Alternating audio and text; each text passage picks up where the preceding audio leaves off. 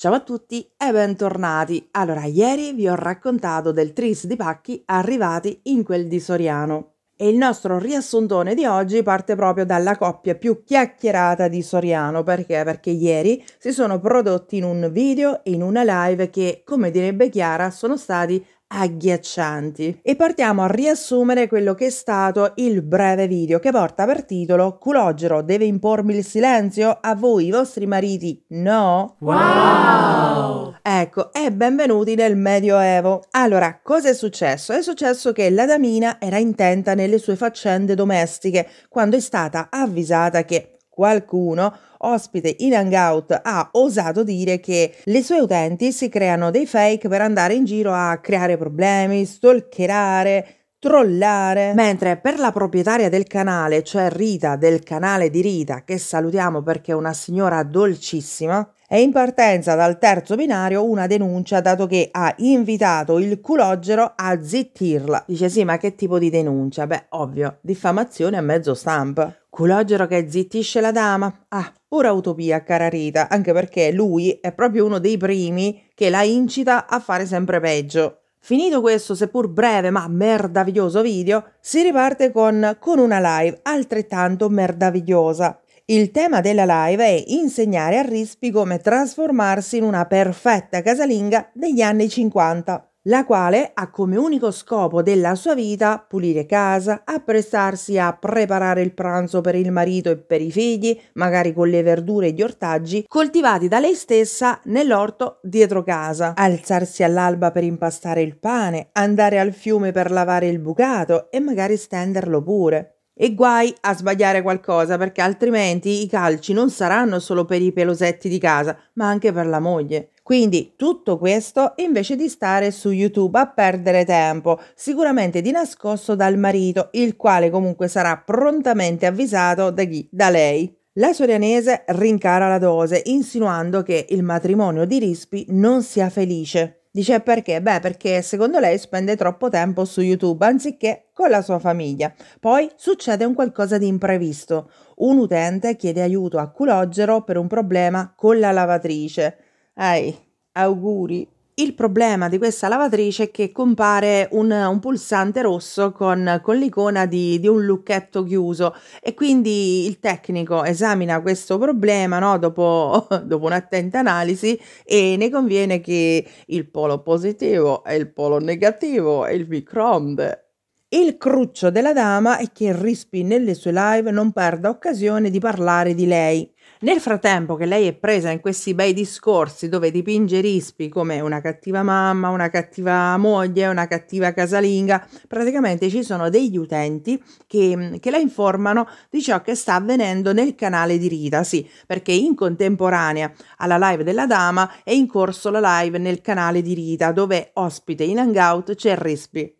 E quindi questi utenti le riportano quelle che sono le frasi che ritengono rilevanti della live di, di Rita e la sorianese, come suo solito, rigira i discorsi, li interpreta come minacce, come offese e poi, rivolta a quella che è la sua utenza, dice loro: Ecco perché ai tempi le avevo allontanate, perché erano delle vipere. No, no, non è andata esattamente così. Ai tempi la dama aveva tra i suoi utenti Cuore Zingaro, con lui ci fu un litigio, per il quale poi, esattamente come sta facendo con Rispi, cercava di infangarlo con un botto di live, una peggio dell'altra, con tanto di indagini da parte del tecnico di casa che andò a rintracciare tutti i siti sui quali era iscritto Cuore Zingaro, perché? Perché lo voleva far passare per, per uno zozzone. Il comportamento dei due compari sorianesi fu a tal punto spregevole che diversi utenti in quel momento decisero di allontanarsi dal suo canale e tra questi c'era anche il canale di Rita,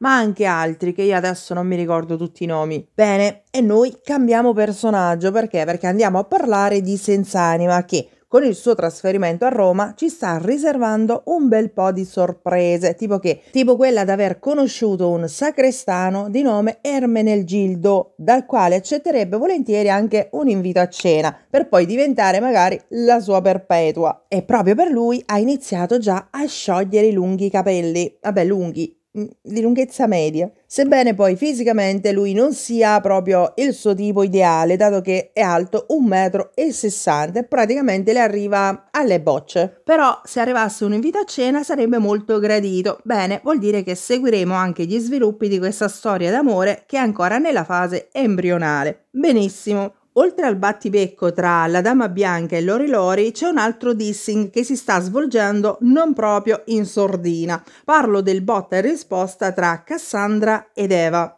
le quali non risparmiano dalle loro frecciatine neanche i rispettivi mariti. Allora, Eva dice di Cassandra che ha un marito che è babbaro, perché? Perché di origine egiziana, mentre Cassandra risponde ad Eva che ha per marito l'omino della Lego e che veste come un dodicenne, forse riferito alla statura.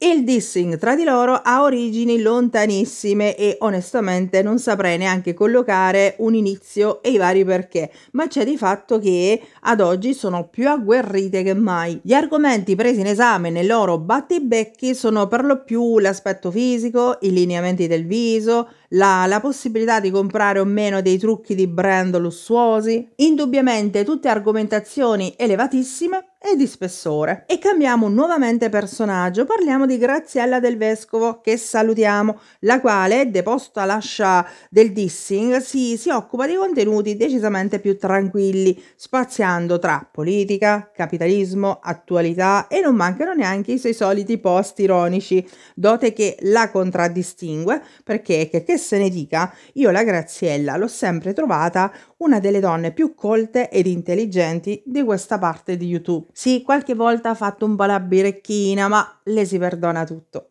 E riprendiamo il discorso Rispi, la quale dopo aver risposto agli attacchi ricevuti dalla dama e provato che non è nel suo mentire, perché? Perché a differenza della controparte, lei ha portato le prove. Ecco, cos'è successo? Che dopo fatto tutto ciò ha ripreso il corso normale del suo canale aggiornando la sua utenza su quelli che sono gli sconti in corso e anche i vari concorsi a premio, spiegandone tempistiche e modalità di partecipazione. Allora, oggettivamente il canale di Rispi per le argomentazioni che porta è un po' un canale di nicchia, in questa parte di YouTube lo sappiamo tutti che va per la maggiore il dissing. E quando un canale non porta il dissing fatica a macinare visualizzazioni, diverso sarebbe se uno apre una live e sta a dire allora il marito di quella è un cornuto perché la moglie va a cottura tutti, quell'altra è una prostituta, quello è un deficiente. Lì ha voglia che le visual schizzano alle stelle. Però siamo onesti, facciamo un discorso serio qui. Fare tanti visual in quel modo non è che dia soddisfazione più di tanto, perché poi alla fine cosa porti? Porti solo violenza verbale e odio contro chiunque. Odio che poi, in un modo o nell'altro, ti torna indietro, pure perché? Perché stare sulle palle a tutti non è che sia poi così piacevole. Questo comporta anche il fatto che non appena metti il naso fuori dal tuo canale, vieni inondato da una tempesta di merda. Ops, ho detto merda. Poi, per il resto che dire, sono un po' delusa perché mh, avevo avanzato una proposta, cioè quella di farmi mantenere dalla mia utenza. Beh, le prime risposte sono state piuttosto negative perché la Esther dice sì, a me stai simpatica, mi piacciono i tuoi video, però sinceramente di mantenerti anche no. Beh, Esther, eh, sei lizza per il bannamento totale. Un altro utente decisamente intelligente cosa ha proposto? Dice: Ma perché non metti nella tua community o una raccolta fondi barra una raccolta vitalizio perenne, cioè dove tutti i mesi l'utenza affezionata quella affezionata, va a versare un tot al mese fino ad arrivare a quota 4.000 euro mensili. Dice, ma che ci devi fare con 4.000 euro mensili? Beh, vorrei allungarmi di 10 centimetri. Io sono 1,70 m, vorrei diventare 1,80 m. Per questo quindi serve fare un'operazione chirurgica. Vabbè, ma questa non è la priorità. Magari sì, pensiamoci su, su questa cosa, perché comunque 1,70 m poi non è così male. Vabbè, va, allora 4.000 euro mi sembrano troppi, facciamo 3.008 al mese, va? Detto questo, io adesso vi saluto, vi auguro buona continuazione di giornata e vi do appuntamento a quello che sarà il mio prossimo contenuto, ma nel frattempo che succede tutto questo, un bacio a tutti da Gossip.